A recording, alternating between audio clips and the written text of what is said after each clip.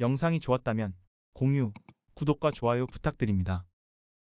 전면전, 휴전 국가인 대한민국이지만 불과 3일 전만 해도 이 단어가 크게 와닿지는 않았습니다. 북한이야 어차피 깜냥이 안 되고 중국도 일단은 양안 전쟁이 우선이었는데요. 그런데 이제는 사정이 완전히 뒤바뀌었습니다. 다름 아닌 러시아가 대한민국을 직접 저격하고 나선 것입니다. 이는 펜타곤 기밀 문서 유출로 인한 일련의 사건들이 대한민국이 우크라이나 무기 지원으로까지 번지면서 촉발되었는데요. 러시아 입장에서는 우크라이나 보급 문제를 해결할 거의 유일한 대책인 대한민국이 참전 가능성을 언급했다는 것 자체가 발작 버튼이고 대한민국으로서는 포탄을 직간접적으로 우크라이나에 지원했다는 게 밝혀진 이상 중립적인 태도를 유보할 수 없는 난처한 상황입니다. 세계 어떤 전문가를 데려다 앉혀놔도 지금 대한민국이 직면한 문제에 대해 속 시원한 해결책을 제시할 수는 없을 텐데요. 그런데 문제는 가뜩이나 복잡한 이 상황의 정치적 문제까지 끼어들어 논점을 흐리고 있다는 것입니다. 대한민국이 우크라이나에 포탄을 지원할 수 있는가? 만약 지원한다면 대한민국의 포탄 공백은 어떻게 해결할 것인가? 대한민국이 우크라이나를 지원함에 따라 얻는 이득은 무엇이고 러시아의 보복은 무엇인가? 대한민국이 중립을 유지했을 때의 불이익은 무엇인가 등 총각을 다투는 논의점이 수두룩한데 발언의 잘잘못이나 이미 벌어진 도청 사건이 책임 소재나 따지고 있는 게 현실입니다. 그런 부차적인 문제는 급한 불부터 끄고 해도 충분합니다. 지금 대한민국은 일촉즉발의 상황에 놓여 있는데요. 러시아가 대한민국을 압박하기 위해 직접적인 행동에 나섰습니다. 투폴레프 22M3 초장거리 전략 폭격기 8대를 동원한 타격 훈련을 대한민국 동해 중립수역에서 단행한 건데요. 러시아는 해당 훈련이 지난 4월 14일부터 진행한 비상 전투태세 점검이 일환일 뿐이라고 주장하고 있지만 이를 믿는 사람은 아무도 없습니다. 그도 그러게 러시아의 비상 전투 준비 태세 점검 훈련은 그동안 베링해와 오호츠크해를 중심으로 이어졌습니다. 동해, 태평양을 침범하는 경우도 대개는 일본과 영토 분쟁 중인 쿠릴 열도 때문이었는데요. 그런데 굳이 이 타이밍에 투폴레프 22M3 8대를 동원해 동해 중립 수역을 비행했다는 건 대한민국의 우크라이나 무기 지원 발언을 두고 벌인 무력 도발이라고 밖에 생각할 수 없습니다. 쉽게 말해 전투행동 반경 2410km, 폭장량만 24톤의 핵무기까지 투발할 수 있는 초음속 전략 폭격기로 대한민국을 직접 타격할 수 있다. 경고한 셈입니다. 사실 우크라이나 전쟁 직접 개입에 대한 러시아의 보복 조치로 대한민국이 가장 걱정해야 할 게 바로 이것입니다. 일부 매체들에서는 북한에 대한 첨단 무기 지원을 강조하고 있지만 이는 생각하는 것보다 큰 위협이 될 가능성이 적습니다. 비록 푸틴의 최측근이자 러시아 전 대통령인 드미트리 메드베데프 러시아 국가안보회의 부의장은 러시아가 북한에 최신의 무기를 공급하면 한국이 어떤 반응을 보일까 발언했지만 이것이 대한민국을 압박하는 결정적인 카드가 될 수는 없습니다. 지금 와서 러시아가 북한을 지원한다고 나서봐야 물밑에서 뒷공작질을 벌이던 게 수면 위로 드러난 것에 지나지 않습니다. 러시아와 중국은 이미 오래전부터 유엔 안보리 상임이사국으로서 북한의 자위권을 들먹이며 핵 개발을 두둔해 왔습니다. 그리고 그 결과는 모두가 아시다시피 북한이 미국까지 타격 가능한 ICBM을 보유하는 것으로 귀결되고 있습니다. 여기에 러시아와 중국의 미사일 기술력이 흘러들어갔다는 건 불보듯 뻔한 일입니다. 이뿐만이 아닙니다. 지난 2022년 북한 열병식에서 등장한 화성 8 조선인민군 극초음속 미사일 2형은 모두 KH-47M2 킨잘 등 러시아의 극초음속 미사일 기술이 그대로 적용된 무기체계들입니다. 또 2018년 공개된 KN-23은 러시아의 9K720 이스칸데르를 그대로 카피한 단거리 탄도 미사일 SRBM입니다. 600km 내외로 추정되는 사거리를 고려하면 오로지 대한민국 타격만을 목적으로 개발된 미사일인데요. 즉 너무 뻔하기에 물리적 증거를 수집하지 않았을 뿐 러시아가 북한의 미사일 개발을 돕고 있었다는 건 기정사실이나 마찬가지입니다. 그런데 여기에 이제 와서 러시아가 북한에 어떤 기술을 제공하든 동해 바다에 수돗물 한 컵 붓는 꼴밖에 되지 않습니다. 더군다나 현재 러시아의 처참한 반도체 수급 상황을 고려하면 도대체 북한에 어떤 지원을 할 수 있는지 되려 궁금해질 지경입니다. 오히려 지금 대한민국을 가장 난처하게 만드는 건 따로 있습니다. 전략국제문제연구소 CSIS 아시아 담당 부소장 겸 한국석좌 빅터 차는 러시아가 이미 대한민국을 교전국으로 간주하고 있다 주장했습니다. 폴란드와 맺은 40조 원 상당의 방산 계약부터 대러 제재 동참, 미국에 대한 포탄 판매 등으로 진작에 대한민국과 러시아의 관계가 돌아올 수 없는 강을 건넜다는 것입니다. 아닌 게 아니라 푸틴은 이미 지난 2022년 10월 공식 석상에서 대한민국을 콕 집어 우크라이나의 무기를 계속 제공할 경우 대한민국과 러시아의 관계가 파탄 날 것이다라고 언급했습니다. 그런데 이제 와서 우크라이나 무기 지원 여부로 인해 러시아와의 관계가 다시 좋아진다거나 더 악화한다거나 하지는 않습니다. 그나마 최악의 가능성이라면 이로 인해 명분을 얻은 러시아가 직접적인 무력 도발을 불사할 수도 있다는 것이지만 이는 목마르다고 바닷물을 들이키는 차충수에 지나지 않습니다. 당장 우크라이나 전선마저 제대로 관리하지 못하는 상황에서 대한민국에 시비를 건다는 건 한미일 세 나라의 군대를 동시에 상대하겠다는 만용이나 다름없습니다. 대한민국이 겪고 있는 진짜 문제는 선택지가 없다는 것입니다. 펜타곤 기밀 문서에서 유출된 대한민국 정부 도청 내용이 우리를 우크라이나 전쟁에 대한 무기 지원 직접 개입으로 내몰고 있습니다. 우크라이나는 이제 서방 세계의 지원 없이 전쟁을 지속할 수 없는 상태입니다. 하지만 전쟁 비축 물자가 바닥을 보이고 있는 건 유럽, 나토 또한 마찬가지인데요. 그러나 또 전쟁을 끝내기 위해 화력 우위를 선점하려면 더 많은 탄약이 필수적이니 이리저리 골치 아픈 상황입니다. 전쟁이 여기서 더 길어지는 건 유럽도 미국도 우크라이나와 러시아도 원하지 않습니다. 먼저 쏘고 먼저 대량의 포탄을 수급하는 게 승리의 지름길이 되어버린 것입니다. 그리고 대한민국은 이런 치킨 게임을 끝낼 유일한 대안입니다. 대한민국이 미국과 맺은 비밀 합의로 지난 2022년 두 차례나 155mm 포탄 10만 발을 우회 지원하지 않았다면 우크라이나 전황은지 금보다 훨씬 힘들었을 것입니다. 하지만 이것만으로는 우크라이나의 분전을 설명하기 어려웠습니다. 대한민국은 외신들이 우회 지원 보도에도 그동안 꾸준히 수출한 155mm 포탄의 최종 사용자가 미국이라는 입장을 고수했습니다. 유통 구조상 대한민국은 미국에 포탄을 제공한 것뿐이고 이 덕에 미국은 비축물자가 부족해질 걱정 없이 우크라이나에 포탄을 제공했다는 건데요. 그러니까 엄밀히 말하면 대한민국 포탄이 우크라이나의 분전에 영향을 미친 건 아니라는 것입니다. 당연히 말도 안 되는 얘기입니다. 오히려 이보다는 미국이 대한민국의 포탄을 받자마자 출처만 지우고 우크라이나에 직접 지원했다는 게 더 현실적입니다. 실제로 펜타곤 기밀 문서로 유출 탓에 밝혀진 미국의 대한민국 포탄 운송 계획이 이에 대한 설득력을 더하고 있습니다. 바로 대한민국 155 운송 일정표라는 제목의 미국 정부가 작성한 문건입니다. 해당 문건은 명령 발동 후 10일 이내 항공편으로 첫 운송을 개시하며 45일째까지 하루 4,700여 발씩 운송이 가능할 것으로 추정하고 있는데요. 또 27일차와 37일차에는 대한민국 경남 진해항에서 독일 노르덴 함항으로 수송선을 이용해 포탄을 운송하며 72일차 전후로 해상 운송을 마무리 지을 수 있다고 언급하고 있습니다. 즉 공식으로 발표된 일 55mm 20만 발, 비밀리에 계약된 12만 발까지 총 33만 발의 대한민국 포탄이 미국을 거치지 않은 채 사실상 직접적으로 우크라이나로 향할 것이라는 게 밝혀진 것입니다. 이런 상황에서 대한민국이 선택할 수 있는 건 그다지 많지 않습니다. 영상이 좋았다면 공유, 구독과 좋아요 부탁드립니다.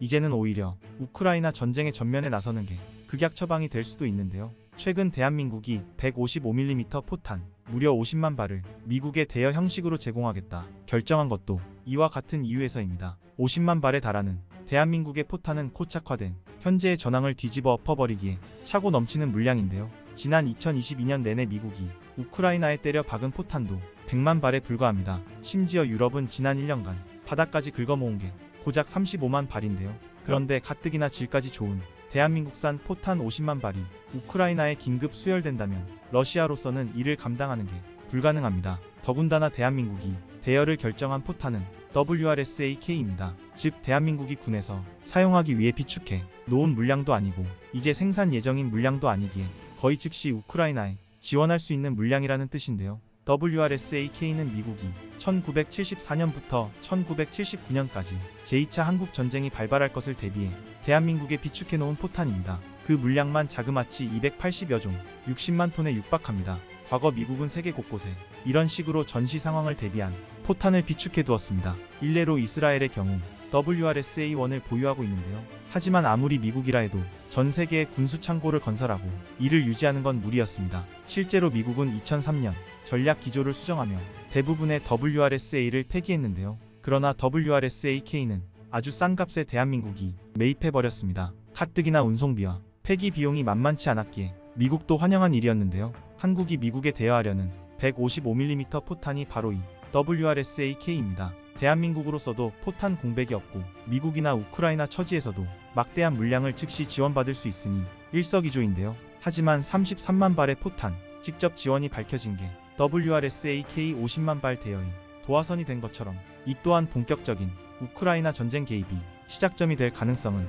경계해야 합니다. 더 정확히 말하면 이로 말미암아 유럽과 미국이 대한민국을 우크라이나 전쟁의 전면에 내세우는 일을 견제해야 하는데요. 특히 이미 군수 창고가 바닥을 보인 유럽 입장에서는 대한민국의 참전이 thank you 그 자체입니다. 대한민국을 우크라이나 군수 창고로 세워놓고 자신들은 뒤로 빠져 한숨 돌릴 생각인데요. 더군다나 유럽 강대국들은 대한민국 방산시장이 우크라이나 특수를 노리고 있다며 진작부터 직접 개입을 종용하고 있었습니다. 대한민국 무기 체계가 단순히 운이 좋아서 선전하고 있는 것으로 생각하기 때문인데요. 유럽은 대한민국이 이에 대한 대가를 치러야 한다고 생각하고 있습니다. 부디 대한민국이 이런 국제사회의 기조에 주체성을 잃고 흔들리지만은 않길 바라겠습니다. 사막국가 사우디아라비아에 대한민국의 강철비가 내렸습니다. 최근 사우디 국방부가 SNS에 게시한 군 홍보 영상 하나 때문에 전 세계 군사 관계자들이 발칵 뒤집어졌습니다. 어느 나라, 어느 군에서나 볼 수 있는 평범한 홍보물인 줄 알았던 영상에서 아주 충격적인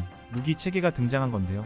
바로 대한민국이 K239 천무였습니다. 그동안 천무는 사우디와의 계약 소문만 무성이 남긴 채 1년이 넘는 시간 동안 어떤 진행 상황도 공개되지 않고 있었는데요. 그런데 갑자기 소리 소문도 없이 사우디 예멘 접경 지역 최전선에 이미 실전 배치 중인 게 확인된 것입니다. 그리고 이로 인해 세계 각국의 싱크탱크 전문가들은 물론이고 군사 관계자들과 방산업체들까지 충격에 빠져 경고를 울리고 있습니다. 어물쩍거리다 자칫하면 대한민국의 무기 체계가 중동 시장마저 점령해 버릴 수도 있다는 분석이 나오기 시작한 건데요. 최근 대한민국 무기 체계에 대한 중동의 관심은 아라비아 사막이 열기만큼 뜨겁습니다. 당장 UAE만 봐도 일본과 함께 지난 2017년부터 추진한 수송기 도입 사업을 엎어버리고 대한민국과 손을 잡았습니다. 심지어 일본은 UAE의 수송기 도입 사업을 수주하고자 없던 활주로까지 만들어서 야전 비포장, 이륙 시험까지 선보일 정도로 공을 들였습니다. 그럼에도 UAE는 이제 막 개발 단계에 돌입한 대한민국의 첫 번째 수송기를 선택한 것입니다. 여기서 끝이 아닙니다. UAE는 대한민국을 선택하고 미국까지 내팽개쳤습니다. UAE는 미국이 지나친 갑질로 노후화된 F-16 블록 60 교체 사업이 난항을 보이자 아예 모든 사업을 취소해버리고 대한민국 KF-21 도입을 검토하고 있습니다. UAE에서는 F-16 블록 62 차기 모델로 F-35를 염두에 두고 있던 것으로 알려져 있는데요. 이는 적어도 중동 방산 시장에서만큼은 KF-21의 미래 가치가 F-35 이상이라 평가받은 셈인데요. 실제로 현재 중동에서 대한민국 무기 체계에 관심을 보이고 있는 건 UAE뿐만이 아닙니다. 지난 2월 개최된 중동 최대의 무기 박람회 이덱스에서는 대한민국의 무기 체계가 초유의 관심사로 떠올랐는데요. 특히 우크라이나 전쟁을 계기로 중동 국가들은 방산 시장이 초거대 블루 오션이 되고 있습니다. 지금까지 그저 잘 만들어진 무기를 수입해서 사용하던 중동이 자국 안보의 방향을 기술 확보와 자주 국방으로 바꾸기 시작했기 때문인데요. 전 세계적으로 불기 시작한 탈세계화와 군비 증강의 바람 속에서 중동의 안보 기조가 송두리째 흔들리고 있는 것입니다. 그리고 안보 기조가 바뀌었다면 예전과 같은 방향성으로는 더는 중동 방산 시장의 점유율을 확보할 수 없는 게 당연합니다. 더군다나 중동 국가들을 둘러싼 사막이라는 특수한 환경은 무기 체계의 가격과 성능 사이에 강력한 딜레마를 생성합니다. 사막에서 운용하는 장비들은 다른 지역보다 더욱 높은 신뢰도와 성능을 요구하기 마련인데요. 즉 정리해보면 중동에서 요구하는 차세대 무기 체계의 조건은 신뢰도 검증과 압도적 성능을 보유해야 하고 그러면서도 합리적인 가격대를 형성해야 합니다. 세상에 그렇게 완벽한 물건이 있으면 내가 쓰지 왜 팔겠냐는 말이 나올 정도로 까다로운 조건인데요. 심지어 이것도 모자라 그간 무차별적인 이산 무기 도입으로 낙후되었던 군사 기술력을 자주 국방이 가능한 수준까지 끌어올려줄 수 있는 나라의 무기 체계여야 합니다. 사실 이쯤이면 교과서에나 이상적인 거래 상대의 표본으로 나올 수준인데요. 가격, 성능, 신뢰도 3박자가 모두 맞아떨어지고 적극적인 현지화와 기술 이전까지 가능한 나라이면서 나토, 미국 등 서방 세계와 같은 규격을 공유하고 있어 현재 개편의 리스크를 줄일 수 있는 나라는 전 세계에서 오직 딱 하나밖에 없습니다. 그렇습니다. 바로 대한민국입니다. 이게 절대 과장이 아닌 게 실제로 최근 대한민국은 중동 국가들이 차세대 무기 체계 도입 사업에서 가장 우선순위로 고려되고 있습니다. 앞서 말씀드린 UAE와는 4조 원대 천궁2 수출 계약을 체결했고 이집트와는 2022년 2조 원대 K9 자주포 패키지 수출 계약을 체결했는데요. 그리고 가장 최근 사우디아라비아의 최전방 주둔군 홍보 영상에 대한민국의 K239 천무가 등장하면서 전 세계 방산 관계자들을 잔뜩 긴장하게 만들었습니다. 지난 2022년 3월 약 1조 4천억 원 규모의 계약을 체결했다는 짤막한 현지 발표 이후 감감무소식이던 천무가 어느새 실전 배치까지 완료되었다는 게 확인된 것입니다. 천무와 경쟁하던 타국의 다연장 로켓 개발 업체 입장에서는 패자 부활전 한 번 못 해보고 탈락의 고배를 마신 셈인데요. 그래도 천무는 사정이 나은 편입니다. 대한민국의 비공은 계약 과정에 대한 어떠한 보도도 없이 지난 사우디의 신형 고속 초계정 FPV 2200의 실전 배치까지 완료된 이후에야 뒤늦게 관련 소식이 알려지기 시작했는데요. 심지어 이런 사례가 한두 번이 아닙니다. 지난 2018년에도 사우디는 40초짜리 영상 하나로 전 세계 방산 시장을 뒤집어 놨습니다. 해당 영상은 사우디 육군이 발사한 미사일에 예멘 후티 반군의 차량이 파괴되는 내용이었는데요. 그리고 결정적인 건 해당 영상에 사우스 코리아 ATGM, 즉 한국산 대전차 미사일이라는 단 한 줄의 설명이 붙어 있었다는 것입니다. 해당 영상에서 말하는 대전차 미사일은 대한민국이 자체 개발한 현궁을 의미하는데요. 이때도 비궁, 천무와 마찬가지로 사우디가 대한민국이 현궁을 도입했다는 발표는 어디에도 없었습니다. 게다가 원래대로라면 사우디는 현궁이 아니라 미국의 FGM-148 제블린을 사용하고 있어야 했는데요. 이미 사우디는 지난 2010년 미국으로부터 제블린 발사기 20개와 미사일 150발을 구매했고 2015년 예멘 내전이 본격화되자 10억 달러, 한화 약 1조 3천억 원이 넘는 물량의 미사일을 추가 주문했기 때문입니다. 단순 계산으로 제블린 미사일만 무려 1만 5천 발 이상 보유한 상태였다는 건데요. 그런데 이를 비웃기라도 하듯 소리 소문도 없이 미국의 제블린이 아니라 대한민국의 현궁이 사우디군 손에 들려 있으니 세계 방산업계에 난리가 날 수밖에 없었던 것입니다. 또한 이를 통해 대한민국이 개발한 현궁이 성능 면에서 제블린을 압도한다는 사실도 알려졌는데요. 단적으로 제블린의 경우 적외선 CCD 조준 장치를 냉각하는 데에만 30초에 달하는 시간이 필요한 것과 달리 현궁은 비냉각식 적외선 CCD와 가시광선 카메라를 조합한 덕분에 주간과 야간 모두 더욱 신속한 조준이 가능합니다. 또한 110mm에 불과한 구경으로도 현궁의 관통력은 무려 900mm에 육박하는데요. 이 정도면 대한민국의 K2 흑표, 미국의 M1A2 에이브람스, 독일의 레오파르트2 A7급 최신의 3.5세대 전차가 아니라면 정면 장갑까지 관통 가능한 수준입니다. 반면 제블린은 구경만 130mm에 달하는데도 최고 관통력은 현궁보다 떨어지는 800mm가 한계인데요. 구경에서 큰 차이를 보임에도 정반대의 결과가 나타나는 이유는 바로 대한민국의 현궁에 표적을 두 번에 걸쳐 연속으로 타격하는 이중 구조 탄두 기술과 미세 조직 라이너 기술이 적용되었기 때문입니다. 실제로 현궁 관통 탄두의 구리 라이너 입자 조직은 일반 성인의 머리카락보다 훨씬 얇은데요. 이 덕에 훨씬 빽빽하고 단단한 탄두를 만들 수 있었고 이것이 관통력이 비약적인 상승으로 이어진 것입니다. 이런 복합적인 이유로 사우디는 제블린 도입이 불발 위기에 처하자 울상을 지키는커녕 그대로 곧장 대한민국을 찾은 건데요. 오죽했으면 사우디군과 예멘군은 물론 적대 세력이던 후티 반군까지도 노획 1순위에 현궁을 올려둘 정도였습니다. 하지만 여기서 가장 주목해야 할 점은 사우디와 예멘 모두 공식적으로는 현궁 수입국이 아니라는 점입니다. 중동은 늘 분쟁 빈도와 군사적 긴장도가 높은 곳이었고 이로 인해 어떤 무기 체계를 도입하느냐가 국지전의 빌미가 될 수 있는 지역이 되었습니다. 그러니 전략적, 전술적 목적을 위해서라도 최대한 비밀리에 무기 체계를 도입하는 경향이 생긴 건데요. K239 천무가 소리 소문 없이 실전에 배치된 것도 같은 이유에서입니다. 일례로 사우디와 분쟁 관계에 있는 이란은 파즈르 마이너스 3, 파즈르 마이너스 5를 주력으로 운용하고 있습니다. 하지만 천무와 비교하면 성능이 처참한데요. 파즈르 3, 파즈르 5는 각각 240mm, 333mm라는 제한된 탄두 구경이 로켓만 운용할 수 있지만 천무는 하나의 발사대에서 130mm에서 239mm까지 전장 상황에 맞춘 3종의 로켓을 모두 발사할 수 있습니다. 또한 사거리에서도 큰 차이를 보이는데요. 구경이 가장 큰 333mm 파즈르 마이너스 5인 경우 최대 사거리가 70km 남짓이지만 천무는 239mm가 80km에 달하고 개발 마무리 단계에 돌입한 전술지대 지유도 무기 KT즘2의 경우 최대 사거리가 무려 290km에 육박합니다. 이뿐만이 아닙니다. 이란의 파즈르 마이너스5와 천무 239mm 로켓은 구경이 100mm 가까이 차이 남에도 불구하고 화력 면에서 정반대의 결과를 보이는데요. 전기식 실린더와 디지털 제어 시스템을 적용한 천무는 사격 반응 시간이 고작 16초에 불과할 뿐만 아니라 확산탄 사용 시 단 한 발의 타격 범위가 축구장 면적의 3배에 달합니다. 사우디군 입장에서는 천무 한 대로 파즈르 3, 5 수십 대를 상대할 수 있는 셈입니다. 이처럼 효율 높은 투자처는 좀처럼 찾아보기 힘든데요. 아닌 게 아니라 천무 도입이 확인되고 사우디와 이란이 장거리 타격 능력에 대한 비교가 본격화되자 이번엔 대한민국이 K2 흑표 전차까지 뜨거운 관심을 받기 시작했습니다.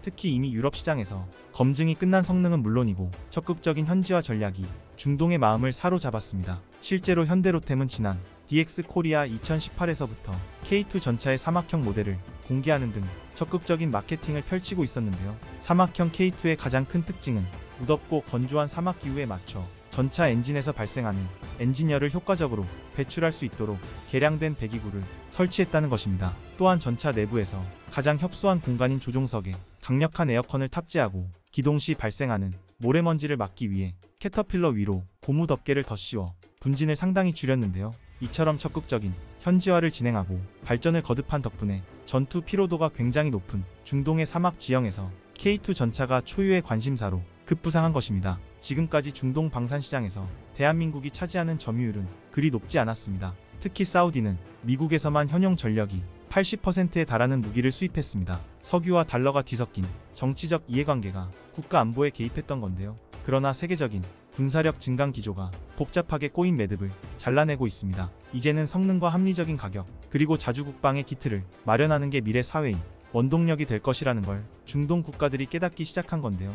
부디 K239 천무부터 K2 흑표까지 대한민국의 무기 체계가 격 동하는 중동 방산 시장에서 흔들리지 않는 입지를 마련할 수 있길 바라겠습니다. 일촉즉발의 대만에서 내전이 벌어졌습니다. 똘똘 뭉쳐도 모자를 여론이 둘로 나뉘어 치열한 싸움을 벌이고 있습니다. 이제는 중국이 아니라 내부의 붕괴를 먼저 걱정해야 할 지경인데요. 심지어 한쪽에선 오성홍기가 불타고 다른 한쪽에선 성조기가 찢기는 가운데 중국까지 90대가 넘는 군용기와 함정을 동원해 대만 포위 훈련을 성공적으로 마무리 지었습니다. 지금 상태는 대한민국과 미국이 어떤 노력을 하든 대만이 먼저 나서서 중국의 나라를 갖다 바칠 지경인데요. 지난 4월 5일 전투기 42대와 함정 8척이 대만 해협에 진입한 것을 시작으로 중국 항모전단이 양안 전쟁에 대비한 초대 규모 군사 훈련을 실시했습니다. 또한 이 과정에서 폭장량만 12톤에 육박하는 H6K가 실제 폭탄과 미사일을 탑재한 채 공중조 기경보 통제기, 선멸기, 교란기의 호위를 받으며 대만 주요 목표물을 대상으로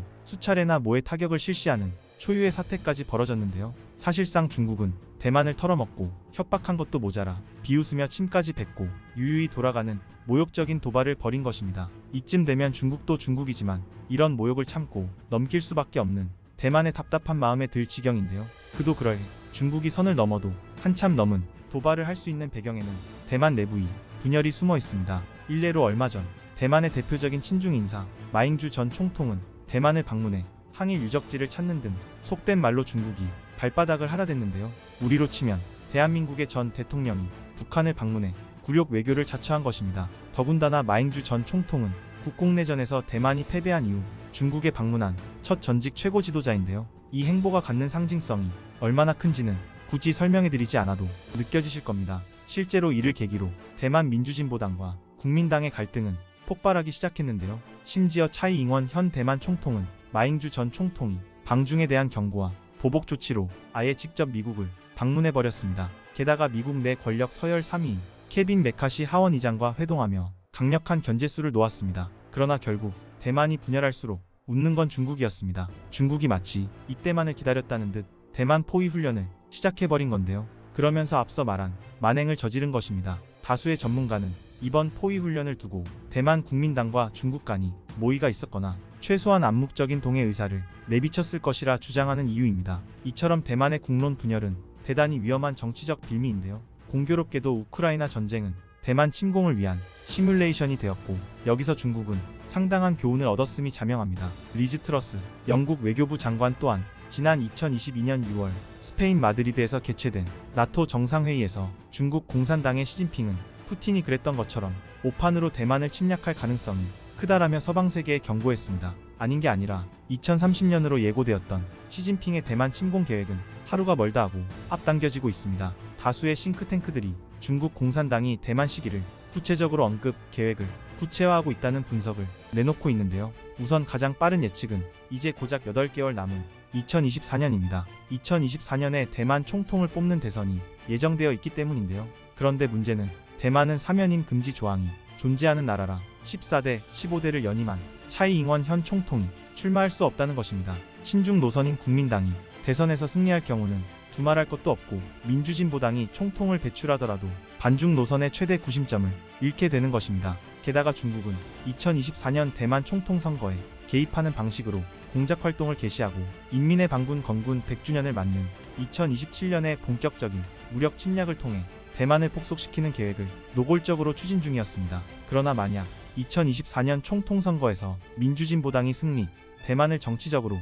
예속시키는 데 실패한다면 물리적인 수단을 동원해서라도 대만을 병합하려 할 가능성을 무시할 수 없습니다. 미국의 정계 인사들 역시 2024년을 중국에 도발 가능성이 가장 큰 한 해가 될 것으로 전망하고 있는데요. 이는 2024년이 대만 총통 선거 외에도 미국의 대통령 선거까지 겹치는 해이기 때문입니다. 일순간이라도 미국의 권력 기반이 약해진 틈을 중국이 절대 놓칠 리 없다는 것입니다. 게다가 시진핑은 올해 제20차 중국 공산당 전국 대표 회의를 치르면서 국가주석 사면임이 확정지었습니다. 시진핑이 자신의 정치적 지지 기반을 공고히 하기 위해서라도 대만 침공을 천명할 가능성이 매우 큰데요. 물론 중국은 정반대의 의견을 내놓고 있습니다. 중국 글로벌 타임스에 따르면 신창 푸단대 미국학 연구소 부소장은 중미 관계가 지지부진한 상황에서 이런 대립적인 발언을 하는 것은 상당히 도발적이고 무모한 것이라며 이런 발언은 중미 관계의 전략적 불신을 악화하고 양국 관계를 해칠 뿐이며 대만에도 좋지 못한 결과를 가져올 것이라고 강조했습니다. 단어 선택이야 두루뭉술하지만 내용을 종합해보면 협박과 다를 게 없는데요. 대만은 단지 창구일 뿐 중국은 지금 미국과 한번 싸워보겠다며 칼을 갈고 있습니다. 그리고 무엇보다 가장 심각한 것은 대만 내부 상황입니다. 그동안 대만 국민은 중국의 내정 간섭에 저항하며 대만의 독립성 유지를 지지해 왔는데요. 그런데 이런 여론이 지난 대만 총선에서 국민당 압승으로 완전히 뒤집혀 버렸습니다. 친중 노선의 국민당은 지난해 11월 지방선거에서 21개 선거구 가운데 수도 타이베이를 비롯한 13곳에서 압승을 거뒀는데요. 이 여세를 몰아 2024년 총통선거와 의회 선거에서 승리해 8년 만에 정권을 교체하겠다는 의지를 불태우고 있습니다. 최근 공개된 여론조사에 의하면 대만 국민 대다수가 자신이 중국인이 아닌 대만인이라고 생각하고 있으며 82%는 중국이 대만을 침공할 가능성이 있다라고 예측하고 있는데요. 그러나 여기서 재밌는 점은 대부분 국민이 중국과의 물리적인 대결보다는 대화를 통해 평화 유지를 희망한다는 것입니다. 친중 노선 국민당은 바로 이 점을 노려 전쟁의 공포에 지친 대만인들에게 중국과의 평화협정과 경제협력이라는 카드를 내밀고 있는데요. 여기에 중국 공산당이 협조를 지렛대 삼아 대선까지 지지율을 몰고 갈 심산입니다. 앞서 말씀드린 마잉주 전 총통의 방중에도 이런 심산이 깔려 있었을 텐데요. 그동안 중국 공산당은 대만을 국가로 인정하지 않을 뿐 아니라 대만의 국호인 중화민국을 발작 버튼으로 여겼습니다. 하지만 이번 마잉주 전 총통의 방중 때는 연설문에서 사용된 중화민국, 중화민족 등이 단어를 제지하지 않았는데요. 마잉주 전 총통이 공공연하게 하나의 중국을 인정하는 대만 정계 고위인사이기 때문입니다. 얄팍한 술수긴 하지만 대만이 이름뿐이 남아 중화민국의 지위를 유지하기 위해선 하나의 중국을 지지하고 친중 노선을 따라야 한다고 간접적으로 경고한 것입니다. 중국 공산당과 대만 국민당과의 긴밀한 사전 협의가 없었다면 불가능했을 일종의 퍼포먼스인데요. 그러나 효과는 확실했습니다. 지금 대만인들은 중국과 국민당을 옹호하는 여론과 미국과 민주진보당을 지지하는 여론이 나뉘어 치열한 분쟁 중인데요. 중국인 퇴출이라고 적힌 피켓을 들고 오성홍기를 불태우는 시위대가 있는가 하면 바로 옆에선 반미구호를 외치는 단체들까지 아수라장을 연출하고 있습니다. 더군다나 지금 대만의 분열은 독립 문제뿐만 아니라 역사적인 이슈와 세대 간의 갈등, 이민자 문제 등 다양하고 복잡한 요인들이 상호작용 중입니다. 여전히 대만 기성세대가 혐한 기조를 유지하고 있는 반면 청년 세대에서는 대한민국 문화에 열광하는 것도 하나의 예시라고 볼 수 있는데요. 지난 총선에서 국민당이 압승을 거둔 것도 이와 같은 갈등에서 비롯된 사건입니다. 반도체, IT, 전자제품 등의 분야에서 대만 기업들은 표면적으로는 높은 점유율을 기록하는 반면 기술력, 투자 등 문제로 초기 진입 장벽이 높아 경쟁력 유지에 어려움을 겪고 있습니다. 심지어 중국을 비롯한 외부적 요인이 내수 규모가 작은 대만 경제에 불안 요소로 작용하고 있는데요. 즉 최근의 대만 국론 분열이 원인이 된 경기 둔화는 경제 체질의 구조적 한계와 지나치게 높은 중국 의존도에서 이유를 찾을 수 있다는 뜻입니다. 이런 상황에서 친중 노선의 국민당이 압승했다는 것은 대만 국민이 문제의 본질을 제대로 파악하고 있지 못하다는 뜻입니다.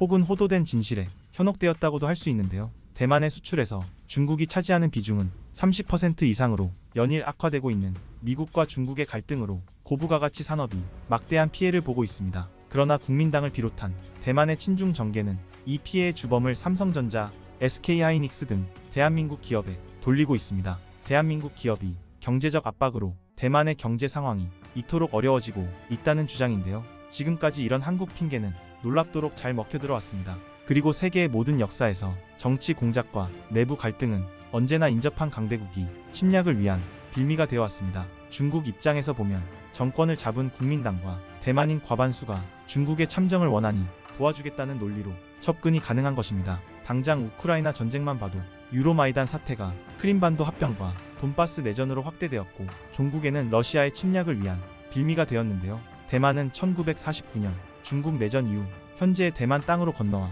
자리를 잡은 이후 현재까지 중국과 관련된 정치, 경제, 문화적 갈등이 지속되고 있는데요. 이번 포위 훈련으로 인한 긴장 역시 지역 안보는 물론 국제사회의 권력 관계에도 큰 영향을 미치고 있습니다. 대만은 대한민국과 인접할 뿐 아니라 미국, 일본 등에게도 전략적으로 대단히 중요한 위치에 있습니다. 최근 모 커뮤니티에선 만약 중국이 대만을 침공한다면 한국은 어떤 행동을 취해야 하느냐? 설문을 게재한 적이 있었는데요. 한국은 당연히 미국을 따라 참전해야 한다라는 의견과 국내 미군 기지가 직접 공격받지 않는 이상 후방 지원 정도만 해야 한다라는 의견이 팽팽히 갈릴 정도로 높은 관심과 참여를 보였습니다. 그러나 대만의 위기는 결국 대한민국의 위기와 다르지 않습니다. 우크라이나 전쟁을 계기로 나토의 최전선 노릇을 하게 된 폴란드를 떠올리면 대한민국의 미래를 그리기 어렵지 않으실 텐데요. 하지만 일각에서는 대만의 위기가 반도체 산업 분야에서 경쟁 관계에 놓인 대한민국에 긍정적인 영향을 미칠 것이라고 주장합니다. 그러나 지정학적 갈등과 안보의 위협은 중장기적인 면에서 손익계산서상 막대한 피해와 정세 불안정을 일으킬 수밖에 없습니다. 양안 전쟁을 방조하는 건 사약을 먹기 전 사탕을 삼키는 것과 진배 없는 일인데요. 부디 대한민국이 동북아의 폭풍 속에서 흔들리지 않길 바라겠습니다.